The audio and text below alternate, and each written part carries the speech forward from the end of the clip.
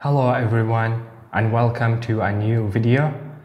So continuing our discussion about antibiotics, we already talked about the penicillin and now we are shifting our discussion into cephalosporins.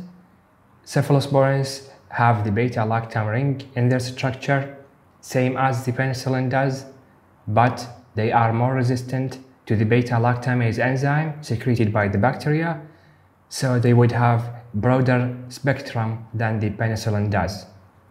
And we have two videos about the cephalosporins. This one is going to be about the cephalosporins generations, and the next video is going to be about the cephalosporins pharmacology. So let's start.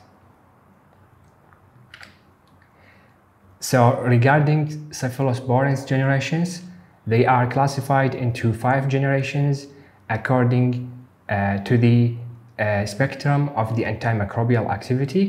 So we would have five generations. First, second, third, and fourth, and fifth. And those will be explained uh, each of them is going to be explained in the next slides. Let's start by talking about the first generation of the cephalosporins. So the agents of this generation, uh, drugs or agents, include the cephalexin uh, and the cephradine and the cefadroxil cefadroxil, and we also have the cefazolin or cefazolin and cephalothin. So regarding the pharmacokinetic of the first generation, uh, those are available as oral formulas mostly, so available as oral and we have only one drug that is available as intravenous which is the cefazolin cefazolin available as intravenous. And most of them are available as oral. Uh, also in the pharmacokinetic regarding the distribution those are those can't pass the blood-brain barrier. Those can't pass the blood-brain barrier, even in meningitis. So they don't, they are not used in treating meningitis because of that cause. Uh, and regarding the excretion of the uh, first generation cephalosporins, they are excreted uh, renally, renally excreted. Uh, let's talk about the spectrum of the first generation cephalosporins. So they are active against uh, mostly or mainly uh, the gram-positives. Example would be the methicillin sensitive Staphylococcus aureus and other bacteria, mainly gram-positives, and they are active against a few gram-negatives. So a few uh, gram-negatives. Example would be uh, Klebsiella pneumoniae bacteria Klebsiella pneumoniae, and they are active against a few anaerobes.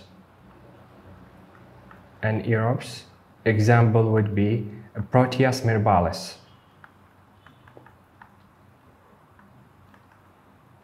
and they are uh, not active against Pseudomonas. So not active against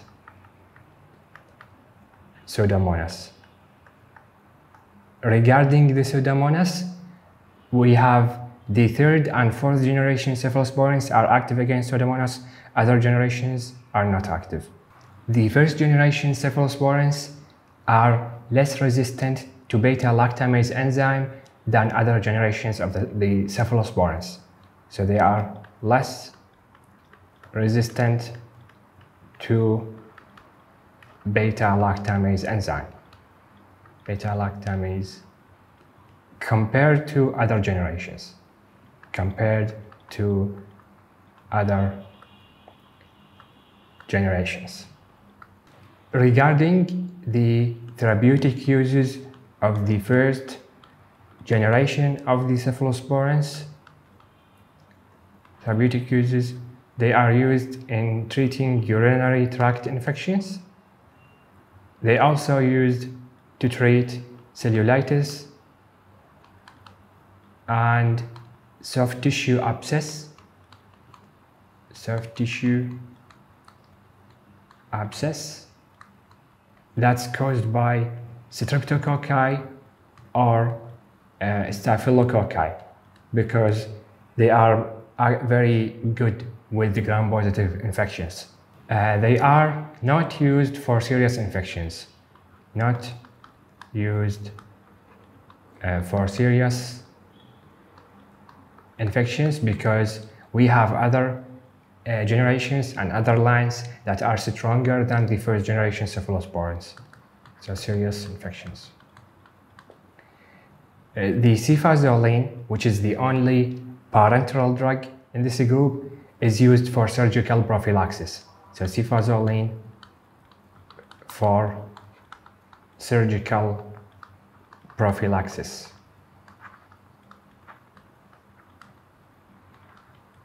Uh, regarding the adverse effects of the first generation cephalosporins, uh, we have high cross allergy with penicillin. So high cross allergy with uh, penicillin. So if the patient is allergic to penicillin, they are also allergic to first generation cephalosporin.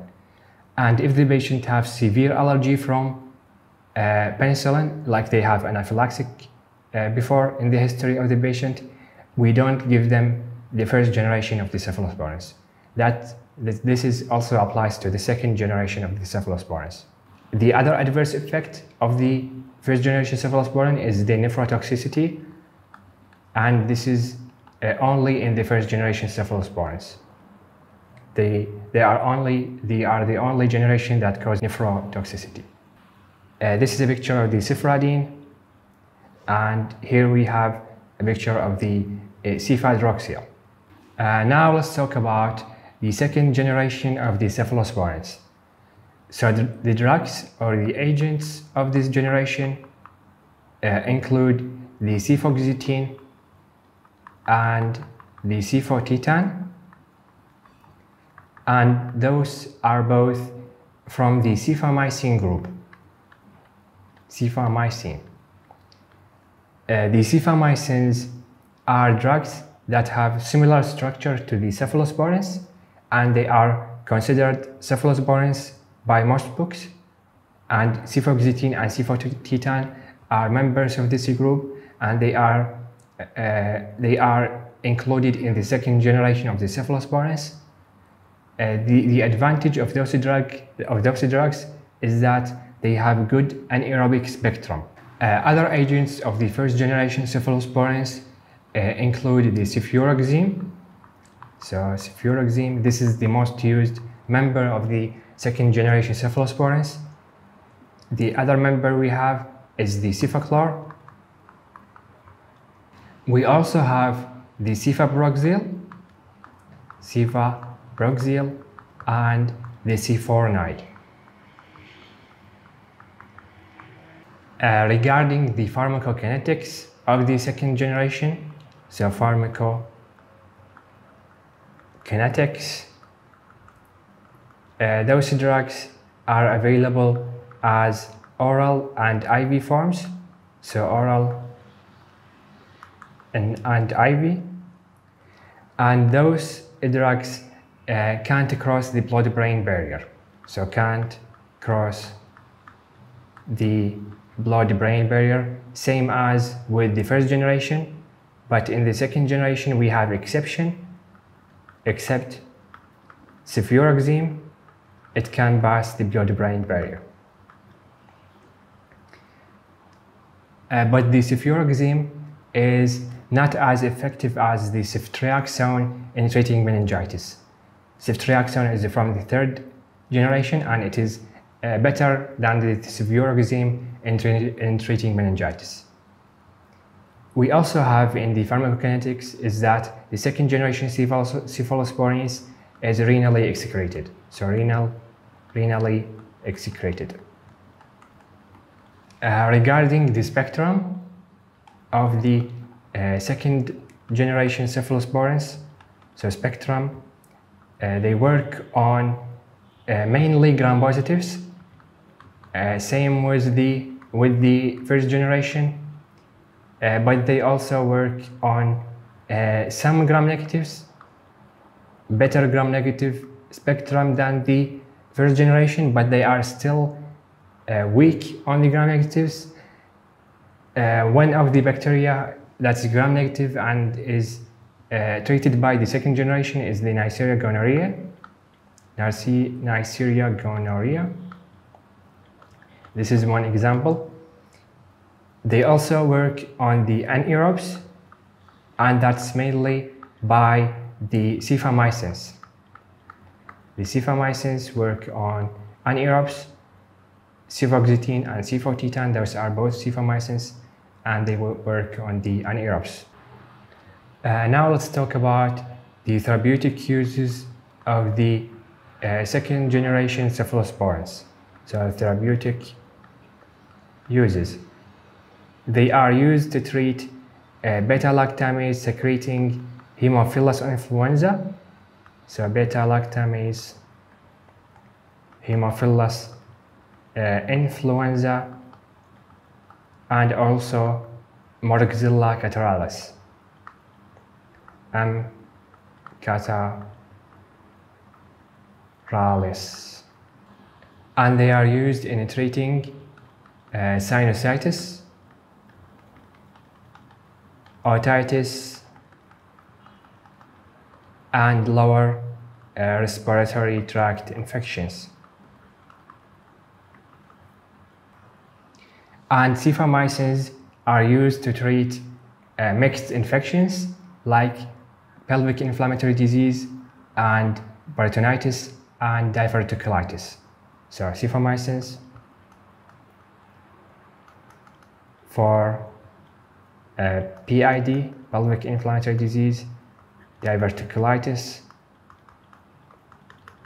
uh, and uh, peritonitis. Uh, so regarding the adverse effects of the second generation cephalosporins, uh, adverse uh, effects, they cause, uh, they only have high uh, cross allergy with penicillin. Same as the uh, first generation, if the patient have allergy from penicillin, they most likely also have uh, cross allergy from the, cephalos the second generation cephalosporins. Here we have some pictures of the second generation cephalosporins. Here we have the cefuroxime. This is the most used second generation uh, cephalosporin. And here we have the cefaclor uh, also. Uh, now let's talk about the third generation uh, cephalosporins the agents of this generation or the drugs, uh, they include the uh, cefotaxime, cefotaxime, the cefoperazone, and the ceftriaxone. They also include the cefixime. This is an oral drug of the third generation. And they also include the CIF, uh, the cefpodoxime, cefpodoxime, and the ceftazidime, ceftazidime. Uh, regarding the pharmacokinetics of the third generation, so pharmacokinetics, uh, they are available as oral and IV formulas. We have the cefixime available as oral and the rest are mostly available as intravenous. So available as oral IV. And they cross the blood-brain barrier, cross blood-brain barrier, except for the cefoperazone, except for cefoperazone. Because of the higher molecular weight, this drug can't cross the blood-brain barrier. So because they cross the blood-brain barrier, they treat meningitis, and the drugs that used to treat meningitis from this group are the cefotaxime and the ceftriaxone.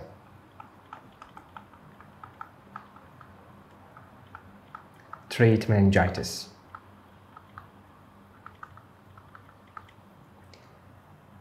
They are biliary and renally excreted. So biliary through the bile and renally through the kidney.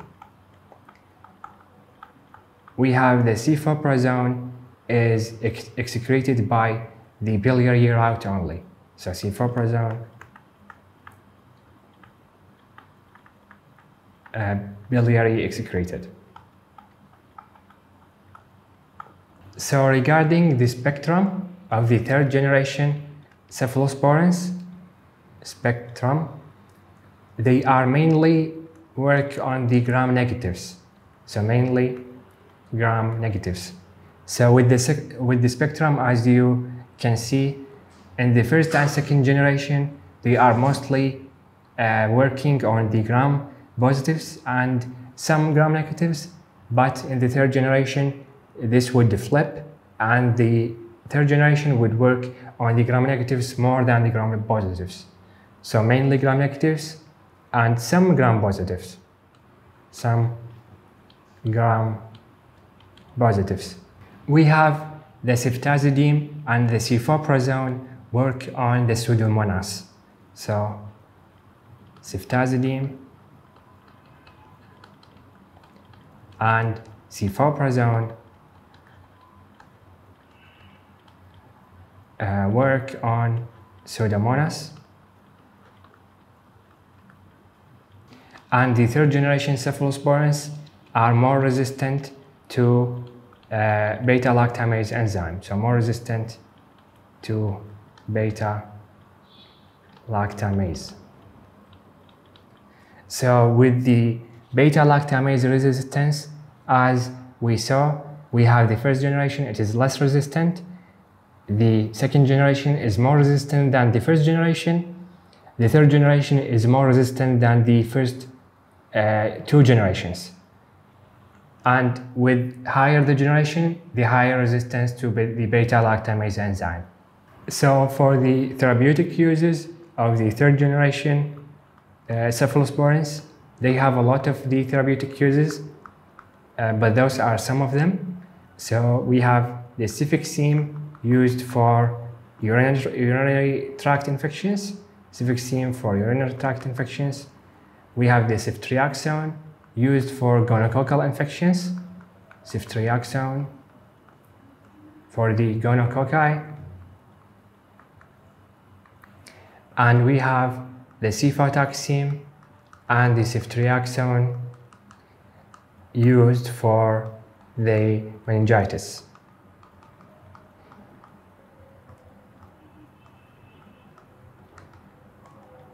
Uh, finally, regarding the adverse effects, uh, we have low cross allergy with penicillin. So low cross allergy with penicillin. Uh, with the cross allergy to penicillin, as we saw, the first uh, two generations, the first and second generations, have high cross allergy with penicillin but the third generation have low cross allergy with penicillin because of the complex uh, structure of this third generation. This make this generation low cross allergy with penicillin. And here we have some pictures of the third generation cephalosporins. Here we have the ceftriaxone. It is the most famous agent of the third generation cephalosporin. And here we have the cefotaxime. And this is the cefixime. It is the only member that's, that is available as oral uh, formula. And here we have the CYP4 uh, doxan. Uh, now let's talk about the fourth generation of the cephalosporins. Uh, the agent of this generation uh, would be the cefepime. Cefepime. Uh, regarding the pharmacokinetics of the fourth generation, so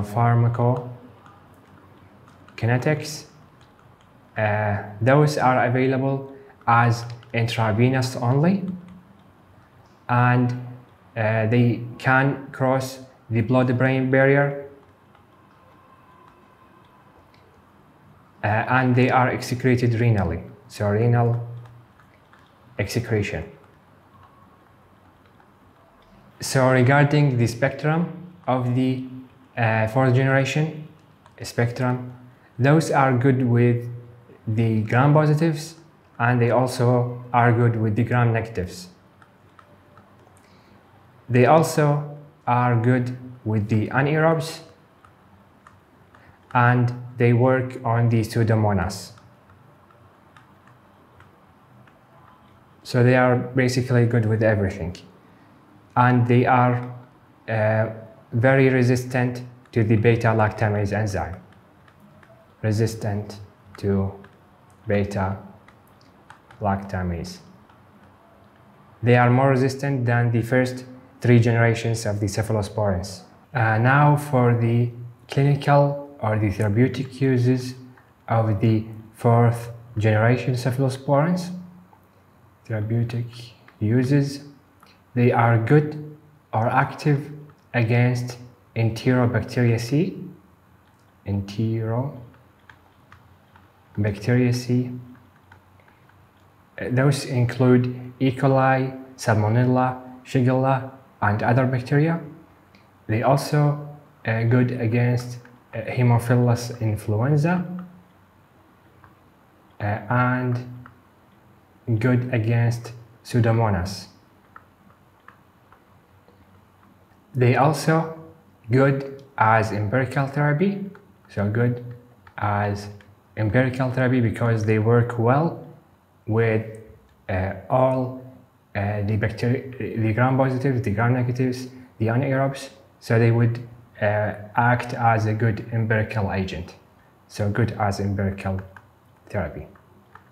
Regarding the adverse effects of the uh, fourth generation cephalosporins, adverse effects, they have a low cross allergy with penicillin, low cross allergy, same as the third generation,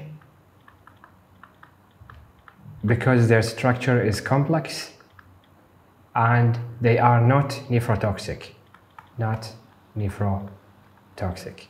Again, nephrotoxicity is limited to the first generation cephalosporins only. The other generations are not nephrotoxic. This is here a picture of the fourth generation cephalosporin, the cefepime, uh, here, and also this is another picture of the cefepime. Now let's talk about the fifth generation of the cephalosporins. The fifth generation also called advanced generation in some books. So the agent of the fifth generation is the ceftaroline, ceftaroline, and regarding the pharmacokinetic, pharmacokinetics, and the fifth generation is available as intravenous only and it is excreted renally.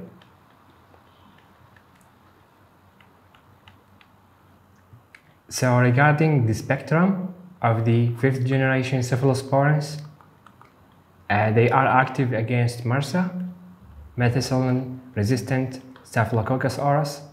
They are also active against resistant uh, of uh, enterococci, resistant strains of enterococci, and they have the same broad spectrum uh, of the gram negatives as the ceftriaxone. So same gram negative spectrum as uh, ceftriaxone, which is a wide gram-negative spectrum. And they are not active against Pseudomonas and resistant strains of Enterobacteriaceae. So not active uh, against Pseudomonas and resistance resistant Enterobacteriaceae.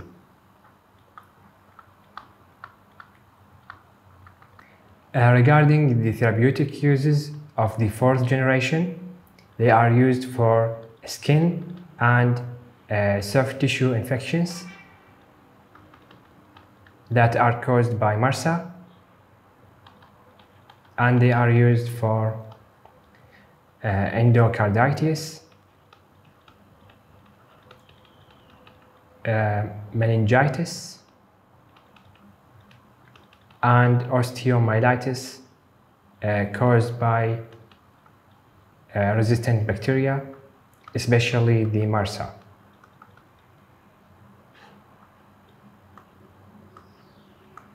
And finally, we have a comparison between the different generations of the cephalosporins. So here regarding the agents of each generation, and here we have the most used agents of each generation. So the first generation, the cephalexin, cephradine, cefadroxil. The second generation, cefoxitin, cefuroxime, cefaclor. The third generation, ceftriaxone, cefoperazone, cefotaxime. And the fourth generation, the cefepime, and the fifth is the ceftaroline. Uh, regarding the penetration of the cerebrospinal fluid, the first generation does not, and the second generation also does not accept the cefuroxime. The third generation uh, cross the cerebrospinal fluid except for the cefoperazone. The fourth generation cross, the fifth generation also cross. Regarding the excretion, all of the uh, generations are excreted renally, except for the third generation is excreted by renal route and biliary route. Uh, so regarding the spectrum, the, fir the first generation is mainly gram-positives and a few gram-negatives and anaerobes. The second generation is same as the first generation, so it would have mainly gram-positives, but it have better gram-negative spectrum, so some gram-negatives and anaerobes the, thir the third generation the flip, so we would have mainly gram-negatives including Pseudomonas, and the fourth generation is wide gram-positives and negative and anaerobes including Pseudomonas. Uh, and regarding the fifth generation, it would have an excellent gram-positives and negatives including the resistant strains of the MRSA and it does not affect the Pseudomonas. Uh, now regarding the beta-lactamase susceptibility, the first generation is, the is the, uh, have less resistant to beta-lactamase. The second generation have uh, more resistant than the first generation, but less resistant than the third generation. The third generation is more resistant than the first two. The fourth generation is even more resistant, so it is more resistant than the first three. And the fifth generation is the most resistant. Uh, and regarding the cross allergy with the penicillin, the first generation is high, the second generation is also high, the third and fourth and fifth generation have low cross allergy with penicillin because of their uh, complex structure. And with that, we reach the end of this video. Thank you guys for watching and see you in next video. Peace.